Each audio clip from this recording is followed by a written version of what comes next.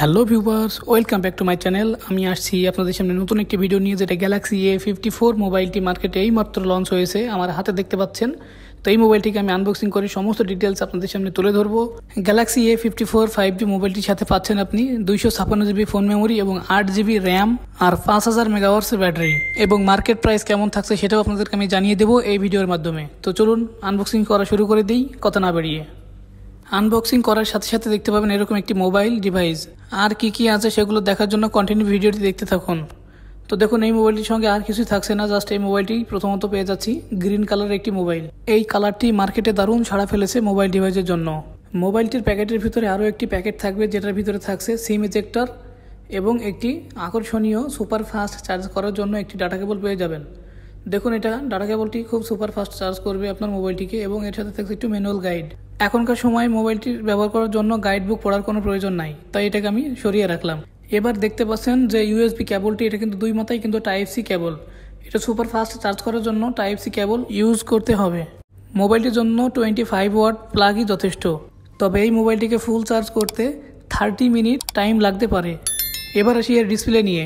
এটা infinity O display যেটা super AMOLED display তাছাড়া পাচ্ছেন fifty megapixel camera triple camera with O IS যেটা ফটোশ্যুটারদের জন্য খুবই ভালো একটি পারফরমেন্স দেবে এবং ভিডিও করার জন্য ফোর কে ভিডিও সাপোর্ট করবে।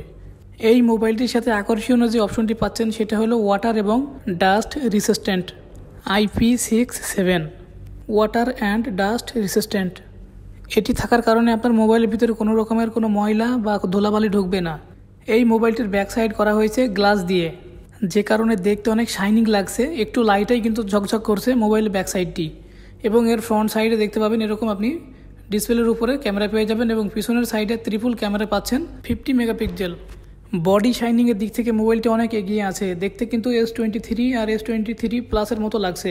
সেম টু সেম পিছনের সাইডে গ্লাস থাকাতে মোবাইলটি দেখতে অনেক ভালো লাগছে এবং এই লুকটি অনেক সুন্দর হয়েছে। দেখুন স্যামসাং লেখা আছে এবং এখানে মেড ইন ভিয়েতনাম লেখা আছে। মোবাইলটির ব্যাক সাইড গ্লাস হলেও কিন্তু আপনি ডিটেলসগুলো দেখতে পাচ্ছেন স্যামসাং লেখার নিচে। এবং এর বডির কথা তো না বললেই নয়। এটা হচ্ছে আপনার অ্যালুমিনিয়াম কেস যেটা খুবই হার্ড একটি বডি যে সেম আইফোনের মতো। এই মোবাইলটির বডিতে কোনো স্ক্র্যাচ হওয়ার সম্ভাবনা কম। কেননা এটা ম্যাট টাইপের একটি বডি যেটা অ্যালুমিনিয়াম বডি তো ম্যাট টাইপের হলে এগুলোতে তাড়াতাড়ি স্ক্র্যাচ পড়ে না। তাছাড়া এই মোবাইলটির বডিতে সামনের দিকে পেয়ে যাবেন সিম কার্ড লাগানোর অপশন এবং পিছনের দিকে পেয়ে যাবেন একটি সুপার ফাস্ট চার্জ করার জন্য ইউএসবি পোর্ট সি টাইপ এবং এর পাশাপাশি থাকছে লাউড স্পিকার এবং মাউথ স্পিকার দুটা স্পিকারই পাশাপাশি পেয়ে যাবেন।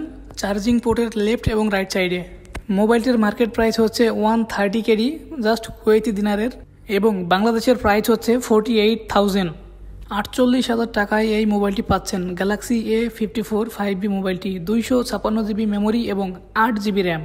তো ভিউয়ার্স, এই বাজেটে ফাইভ জি মোবাইল হিসেবে প্রাইসটি কেমন আছে কমেন্ট করে জানাবেন। আমি আরও আপনাকে ওপেন করে দেখে দিচ্ছি এর ডিসপ্লে রেজুলেশন এই মোবাইলটির display full HD plus, super AMOLED হওয়ার কারণে ভালো কালারফুল ডিসপ্লে পাচ্ছেন।